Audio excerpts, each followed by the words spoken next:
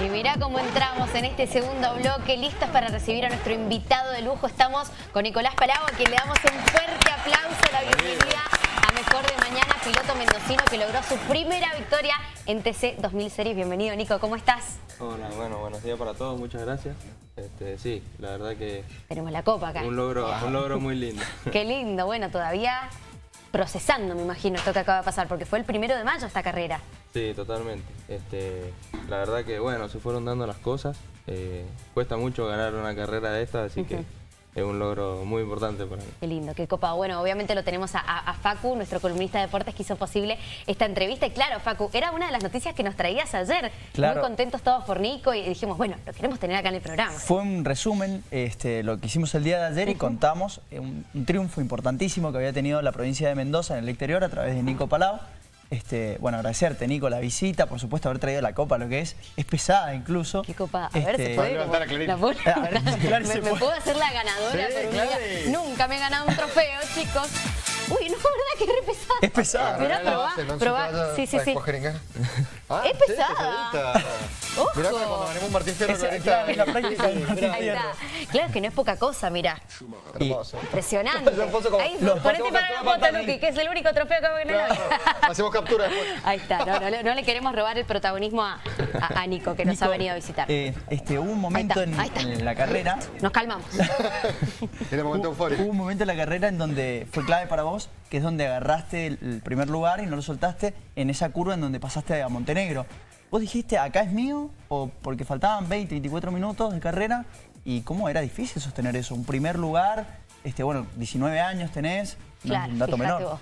Sí, totalmente. Este, bueno, fue, lo- fue una circunstancia de carrera donde por ahí, eh, para la gente que no entiende mucho del Mm. automovilismo, cuando vas atrás de un auto de carreras, este, por más que vengas más rápido, cuando te acercas, perdés carga aerodinámica y, Mm. y de- disminuye el rendimiento del auto, digamos. Entonces, cuando paso a Montenegro, él se excede en un frenaje de una curva a unos metros. Este, y bueno, esas oportunidades hay que aprovecharlas. Son segundos, Claro, digamos. tienen que estar como ustedes cal- calculando todo el tiempo cómo voy a doblar, cómo voy a frenar, porque una mínima distracción, Sí, perdés ahí. Te Sí, fuiste, ventaja. sí, ¿o no? totalmente. Eh, eh, todo el tiempo como, como maquinando, ¿no? hay mucha que tener concentración. mucha concentración, sí, Claro. mucha concentración. ¿Cómo te acercaste al automovilismo, Nico? ¿Hace cuánto que practicas este deporte? Eh. ¿Cómo fueron tus primeros pasos? ¿Por qué se te dio por, por explorar en No, este ámbito? Yo vengo de una familia de Ricontra Mil Fierrera. Ah, muy bien, por ahí venía. Desde, desde mi abuelo, todos mis tíos, mis primos, yo, Claro. mis hermanos. Así que este, de ahí me acerqué y arranqué a correr a los nueve años. Hace Uf. 10 años, en Claro, karting. Con un volante en la mano. Claro. y bueno, a los 15 años me subí por primera vez a un auto de carrera y bueno, de ahí ya Espectacular. escalando. Ahí no para paraste más. Nico, ¿y qué sentiste cuando ganaste, cuando te nombraron, cuando te anunciaron? Porque viste que por ahí esos últimos segundos uno dice, no, no llego, si llego, soy, no soy. ¿Cómo lo viviste esa última instancia? No, yo ya el, el año pasado había ganado un par de carreras en otra categoría que se llama Top Race. Mm. Este, pero no, esta carrera creo que fue más, más especial todavía porque eh, veníamos de un par de resultados medios malos, ¿viste? Cuando venís medio bajón, Mm. Medio bajón. Y, y de la nada repuntás.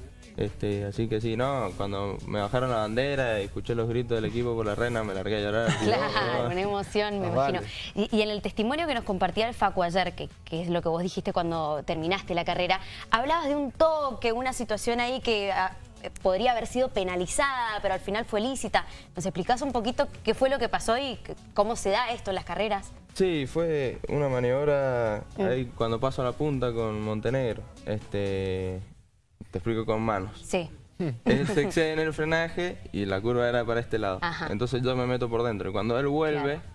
se encuentra con mi auto, Claro. pero nos chocamos, a- chocamos, entre comillas, a la par. O sea, Sí, eso- un roce.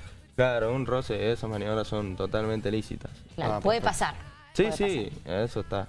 tal cual. Nico, Legal. contaste que corriste en Top Race, de hecho corres el Top Race también, que vas a estar acá en, en Neuquén, junto con el TC. Perdón, Este, ¿cuál es la diferencia entre las categorías? ¿Usás otro vehículo? Sí, ¿En qué se diferencian, Sí, Nico? eh, una- el Top Race son autos, es un Toyota Lexus, Mm. este, son tracción trasera y tienen Bien. motor V6. Claro. Van son, tienen mucha más potencia, van mucho más rápido. Claro, entonces vos tenés tu auto para Top Race, tu auto para TC2. Claro, totalmente. En Claro. Top Race corro con, en, en el equipo Fenning Competición, que Ajá. es como Toyota Gazoo Racing Junior. Bien.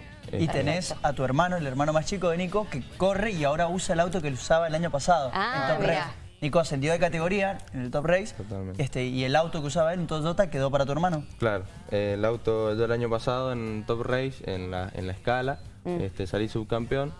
Y bueno, ese auto ahora lo está ocupando mi hermano para correr y bueno, yo fui a la categoría más grande. Y estos autos tienen como cierta durabilidad. Vos decís, bueno, ¿me, me puede durar bastantes años? ¿O es como que con las carreras, con el uso excesivo, medio que se deterioran y hay que estar todo el tiempo pensando en adquirir uno nuevo? ¿Cómo funciona? No, viste, a este nivel ya uno va, eh, el- los equipos tienen sus autos, o sea, no es que yo tengo mi auto Mm. Claro. propio. Este, y bueno, ellos se encargan de mantenerlo, sí, se deterioran Claro. ciertos elementos, pero el auto en sí eh, están hechos para que duren muchos Claro, años. tal cual. Importante formar parte de estos equipos, ¿no? Es un deporte caro.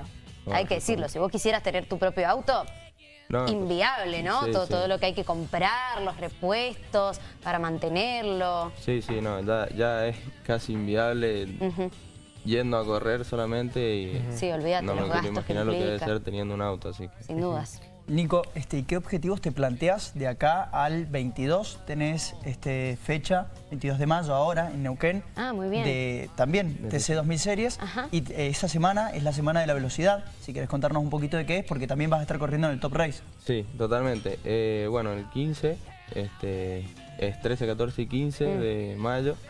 eh, corro en Top Race en Neuquén. este, y bueno, toda esa semana hasta el, hasta el 22, hasta el domingo 22, este, que corre el TC2000, se llama Semana de la Velocidad en Neuquén. Ajá. Porque el dueño del TC2000 y el dueño del Top Race este, son, la- son el mismo dueño, la categoría, No entonces han sabía que hecho- tenía un dueño el TC2000. han hecho. sí, todo tiene, Desconocía. todo tiene dueño. allá. Ajá. Sí, sí. Este, Así que bueno, han hecho una sem- han puesto dos fines de semana seguidos en el mismo lugar y es una semana de la velocidad que Buenísimo. está buena. Entonces, en dos categorías distintas en el lapso de una semana. Se viene duro. Sí, hay que desconectarse de una y conectarse en la otra Sin porque dudas. son Claro, para evitar el muy estrés y que te explote la cabeza. ¿Y cómo te imaginas eh, a futuro dónde aspirás a llegar o quizás qué carrera te gustaría lograr para uno que desconoce El alguna nacional, alguna internacional? ¿Cuál es tu máximo objetivo como corredor?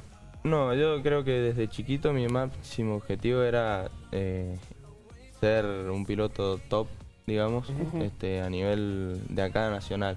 Ajá. Eh, hice el año pasado una carrera internacional este, en un sudamericano, Ajá. este, que salí séptimo. Pero no, creo que mi máximo objetivo es ser un referente acá en Argentina. Bueno, ojalá internacionalmente sería más que un sueño, pero ¿Te ves, Nico, corriendo el Super TC 2000? Es, la, es, digamos, uno de los máximos circuitos que hay de acá. De hecho, está el TC Esto es 2000 la serie. antesala, ¿no? Claro, de- es la antesala. Ujú. Lo previo a eso, ¿te ves en el TC? sí, totalmente. Obvio que me encantaría, bueno, pero este, pasa más por otras cuestiones, no Claro. tanto por, por talento. Ya llegas a un nivel Mm. este, donde hay equipos oficiales, pilotos pagos. Pero escúchame una cosa, tenés 19 años. Claro, a ver, hay mucho yo por creo que tienes muchísimo camino por recorrer. Si ya estás teniendo estos logros eh, con esa edad, lo que viene es seguramente muy prometedor, sin dudas. Totalmente. Sí, sí, este, es así. Por eso te digo, hay que estoy viviendo paso a paso, digamos, Está carrera tras carrera. Este año creo que va a ser uno de los años en los que más voy a crecer como piloto. Así que bueno, eh, disfrutar y aprender porque todavía queda mucho por delante. Sin dudas. El aplauso. Pero por supuesto. Para Nicolás Palau, un nombre que seguramente van a seguir escuchando en todos lados.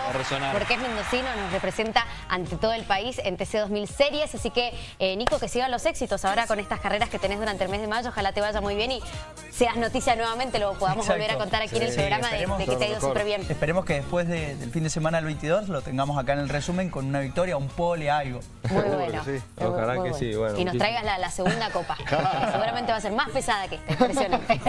Gracias, Gracias, Nico. Un gusto tenerte y que sigan los éxitos. Bueno, muchísimas gracias a ustedes, este, a Facu por la nota.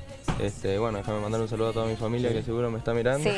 No pueden toda- faltar los saludos, porque si no, viste que después te lo reprochan. no lo saludaste. Mire, tranquilo y salude. a, toda- a todas mis publicidades. este, y bueno, a, a darle las gracias a, a la categoría de Top Race, a la categoría de, de TC2000 por darme la oportunidad de estar arriba de estos autos. Por supuesto. Les Ah, mandamos un gran saludo a todos ellos.